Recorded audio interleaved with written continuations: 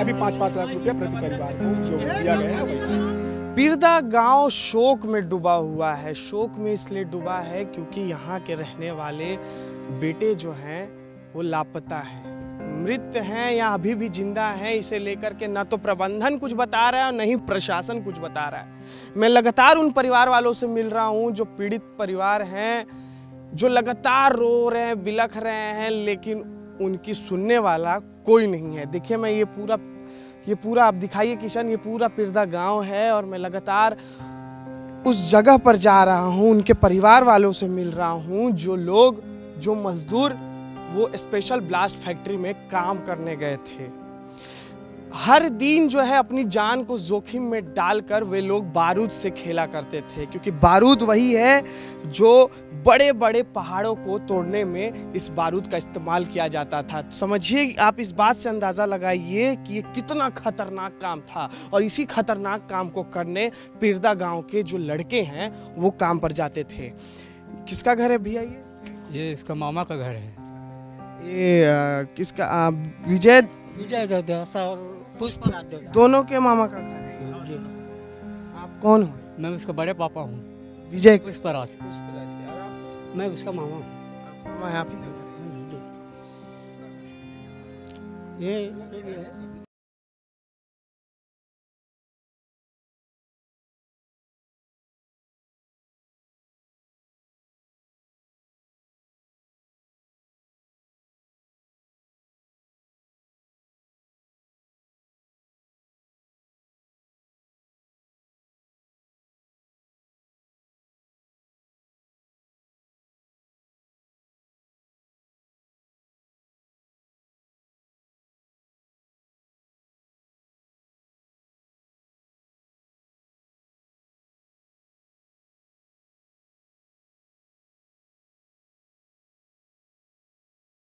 है। ये ये हो गया है किसी से सहयोग कोई मिल नहीं रहा है रिस्पांस मतलब जिस प्रकार से होना चाहिए एनर्जी वो नहीं मिल रहा। है मतलब कार्य इतना स्लो है इतना स्लो है बता नहीं पाए आठ बजे घटना को बारह बजे एक्टिवेट हुआ सब प्रशासन 48 घंटे से ज़्यादा का समय हो गया है अभी तक बॉडी पार्ट्स कुछ मिले? कुछ कुछ नहीं मिला सर हम उसी के इंतज़ार में हैं। सुना है कि बेला गया है वहाँ से फॉरेंसिक चेक होगा तब दो चार दिन में। ये स्पष्ट कोई नहीं बता पा रहा है कि कब क्या होगा। मतलब आप लोग को अभी तक कुछ भी जानकारी नहीं है कि जानकारी नहीं है कि कब उसका बॉडी पार्ट्स मिलेगा। सुना है कि टुकड़ों टुकड़ों में बढ़ गया है।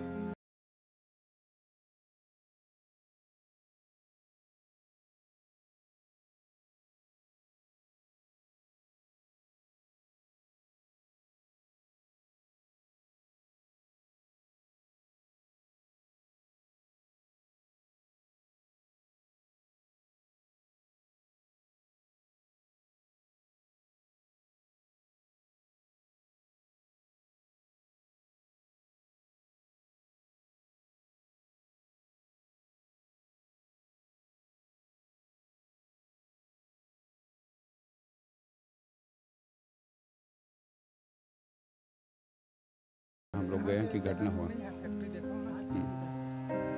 चार किलोमीटर है बताइए। मतलब उसका वो जो धमाका हुआ जो हम लोग सीसीटीवी कैमरा में भी देखे कि धमाका इतना ज़बरदस्त था कि परखच्चे उड़ गए जो भी वहाँ यूनिट अलग अलग रखे। कितने यूनिट थे ये नहीं बता पाऊँगा सर मैं दूसरी जगह काम में अंदर का कुछ जानकारी एक ही प्लांट है नया है वो? हाँ, एक ही यूनिट है। क्या बारूद जिस यूनिट में धमाका हुआ वहाँ बारूद बनता था? उसमें वो पीटीएन नाम का है। पीटीएन पीटीएन वो।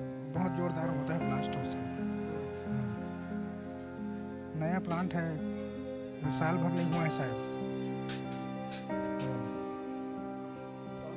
आगे क्या होगा? आगे क्या बताऊँ मैं? क्या होगा?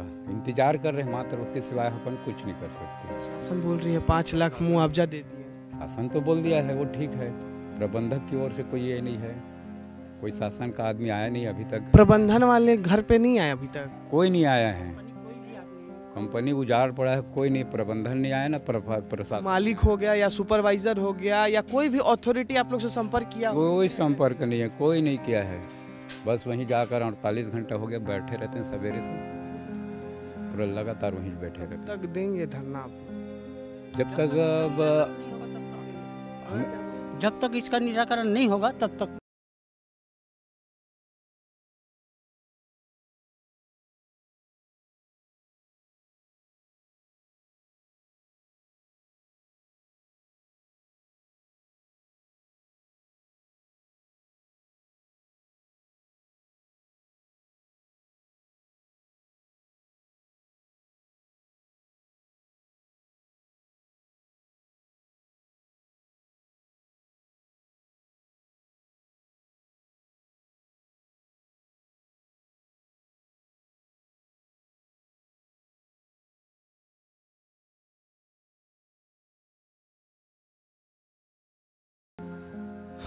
बॉडी पार्ट्स तो मिले हैं जो मलबा गिरा, जहाँ ये पूरा ब्लास्ट हुआ एक यूनिट दो मंजिला बिल्डिंग था और अचानक इतना बड़ा ब्लास्ट हुआ कि उसकी जो लपटे थे ऊपर ऊपर तक नज़र आई आग की। परिजन है, मामा है, चाचा है, भाई है, सब इंतज़ार कर रहे हैं कि कम से कम जो उनका लड़का गया था उस ब्लास्ट फैक्ट्री में उसका कम से कम उन्हें बॉडी पार्ट्स मिल जाए जो शत विशत हो गया था उसका बॉडी पार्ट्स मिल जाए ताकि कम से कम अंतिम संस्कार किया जा सके। घर में बच्चे बैठे हुए हैं पूरा घर देखिए मातम में डूबा हुआ है। एक बार किश, किशन आइए एक बार बाहर दिखाइए कि किस तरीके से जो है महिलाएँ यहाँ अपने घरों के बाहर बैठी हुई हैं। ये पूरा गाँव का माहौल है। सब जानना चाहते हैं कि आखिरकार उस दिन क्या हुआ था, कैसे ब्लास्ट हुआ था। कहाँ है इनके गाँव के रहने वाले जो लड़के उस दिन काम पर गए हुए थे? ये पूरा घर दिखाइए आप। हाँ आ रहा हूँ। ये पूरा घर दिखाइए आप कि ये घर जो है, विजय देवदास और पुष्पराज देवदास का घर है। क्या दिखा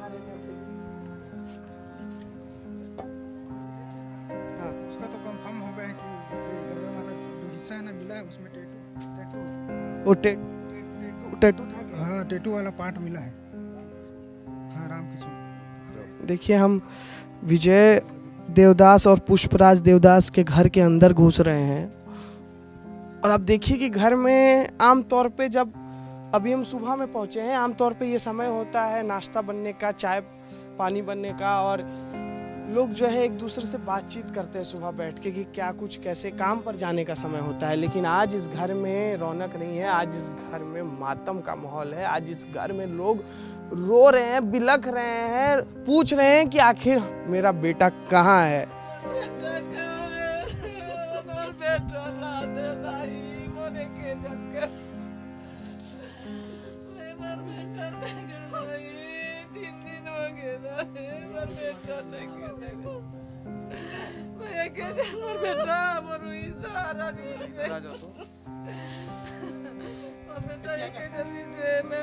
आदमी भी कमज़ोर है मैं कमज़ोर हूँ कहूँ नहीं कमा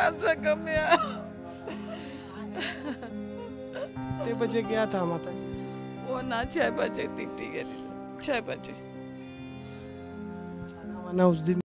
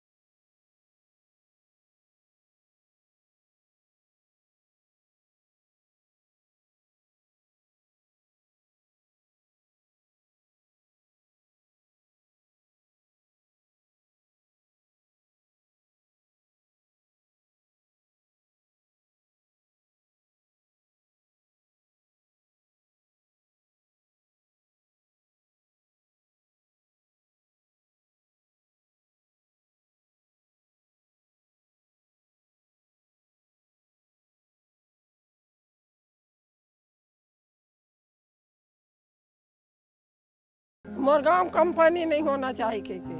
और उहुल के यहाँ कंपनी नहीं होना चाहिए के के। तेन पैसा झोंक झोंक के कंपनी बनवाए हम सब ला जाना था काला नहीं जाना था होना चाहिए यही बोल रहे हाँ, ये ये ला बना से तेरा। नहीं होना हमारे घर गाँव कंपनी के के।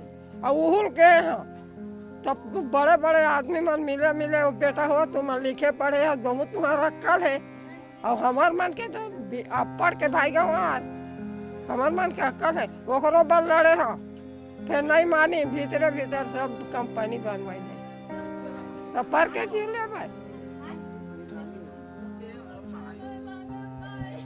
देखिए नानी का दुख दर्द जो है वो सामने निकल कर आ रहा है? कह रही है कि देखिए, मैं इस घर में आया हूँ और मैं आपको बता रहा हूँ कि मुझे इस तस्वीर को दिखाने में काफ़ी डर लग रहा है क्योंकि मैं यहाँ खड़े रह के एक शब्द भी यहाँ बोल पाना बहुत मुश्किल है, बहुत कठिन हो रहा है आज मेरे लिए क्योंकि इससे पहले मैंने ये मंज़र, इससे पहले मैंने ये मंजर कभी नहीं देखा क्योंकि एक घर में दो दो लड़के की मौत हुई है। हम ऐसा इसलिए कह रहे हैं क्योंकि अभी तक दोनों का कुछ अता पता नहीं है। न ही प्रशासन ने कुछ बताया है, न ही फैक्ट्री के प्रबंधन ने। विजय देवदास और पुष्पराज देवदास दो लड़के गए थे इस घर के काम करने, लेकिन आज दोनों लापता हैं।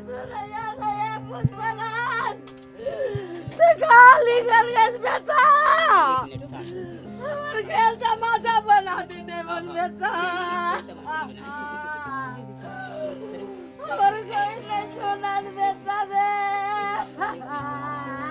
कंपनी का स्टैंड क्या है ये तो बता दीजिए। क्या कंपनी चीज़? का स्टैंड क्या है? बातचीत करेंगे या नहीं करेंगे? जो मेरे को जो मिली है वो चीज़ मैं लाया। कंपनी कितना बताया? अभी अभी। अभी पाँच पाँच लाख रुपया प्रति परिवार को जो दिया गया है वही ठीक है कंपनी की तरफ़ से पाँच लाख? ये कंपनी का आपने कराए थे तहसीलदार है ना? कल कलेक्टर साहब जो घोषणा किए थे उसके अकॉर्डिंग अपन लाए ठीक है? तो आपने कंपनी को बोला कि नहीं प्रशासन की तरफ़ से कि नौ लोगों की मृत्यु है बारूद में? इस इस चीज़ को हम आपको स्पॉट में अवगत कराएँगे। ये देखिए ये तहसीलदार हैं यहाँ के और लोगों में काफ़ी आक्रोश है। पाँच लाख रुपए सिर्फ़ पाँच लाख रुपए जो है कंपनी के तरफ़ से तहसीलदार जो है लोगों को देने हुए आए हुए थे। यहाँ पर लोग काफ़ी आक्रोशित है। जब तहसीलदार आ गए तो लोगों पर क्या बोल रहे थे तहसीलदार साहब? पाँच लाख दर के कंपनी कुछ ला रहे हैं कि, कि हमारे घर माँ है। तब तुम मतलब फ़ोन करे हैं ऐसे आए। और शासन कुछ पाँच लाख दी तेला ना हमन वाला उल्लंघन नहीं करा था शासन कुछ ले जब रूल बंद है तेला कंपनी कुछ कैसे मान बोनेला कि तो पाँच लाख की के। ऐसे कहा था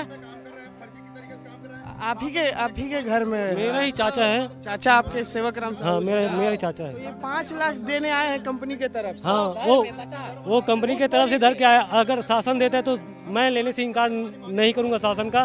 बाकी ये जो शासकीय आदमी है तो वो प्राइवेट कंपनी का पैसा लेके क्यों आया देखिए सबसे बड़ा सवाल है तहसीलदार थे और लोगों का आरोप ये है जो पीड़ित हैं परिजन हैं कि शासन का आदमी जो है एक प्राइवेट कंपनी के तरफ़ से जो उन्होंने ऐलान किया मुआवजा के पाँच लाख वो लेकर आया यही हाउ शासकीय आदमी एक प्राइवेट कंपनी का पैसा लेकर आया है। हाउ कंपनी प्रबंधन से कोई मुआवजा का घोषणा नहीं हुआ है। अभी तक कंपनी प्रबंधन से पाँच लाख कल कलेक्टर बोले थे। वो बोले हैं लेकिन उसका कोई स्टेटमेंट नहीं है। कलेक्टर वो भी मिला होगा अंदर फैक्ट्री अंदर मालिक से कम कलेक्टर भी मिला होगा। उन लोग के अंदर अंदर बात हो रहा है ठीक है वो लोग एक वो अपने मुँह से अपने मुँह से बोल दे।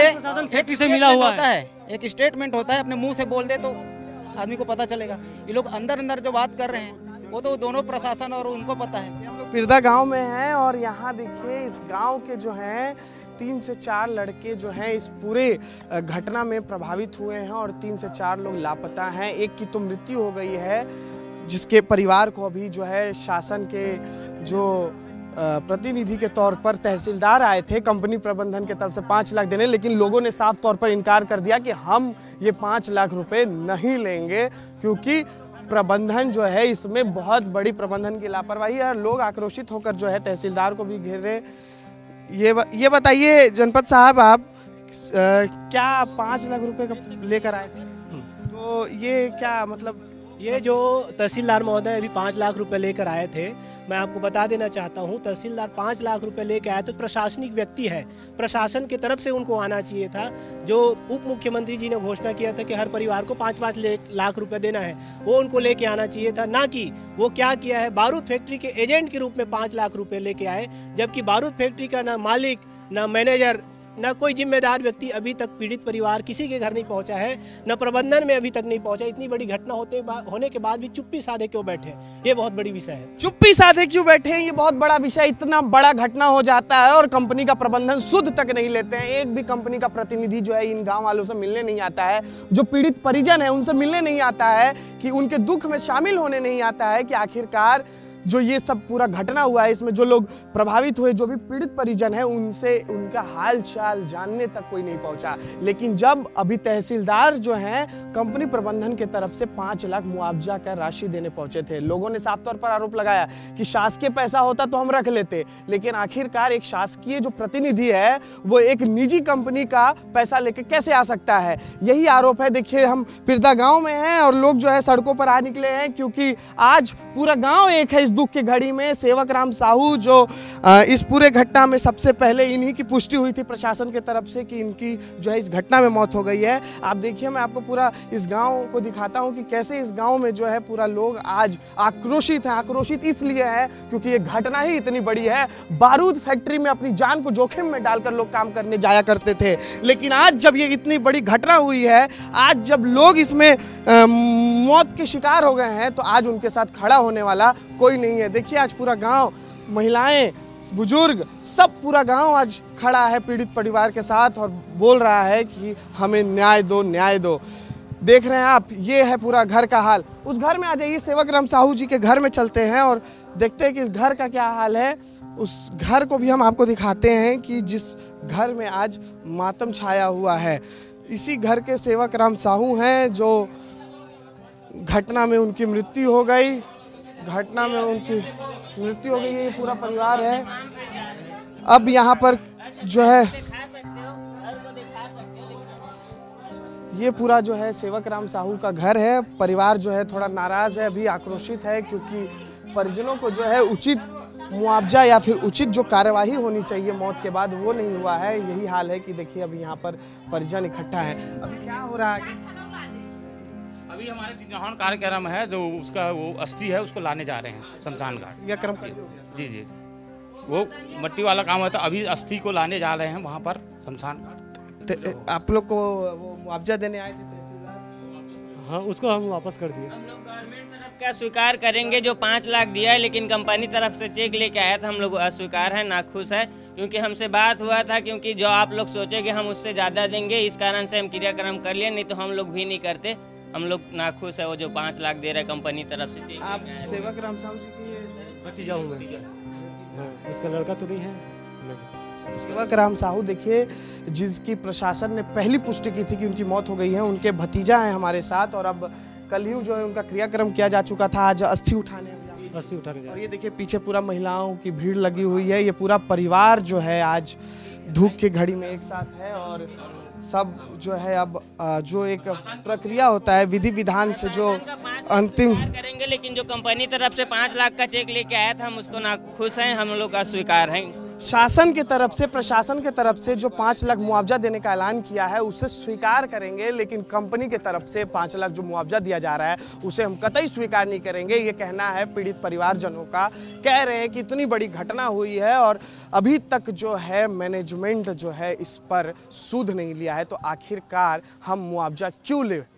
कैमरा पर्सन किशन के साथ अनमोल तिवारी, विस्तार न्यूज़।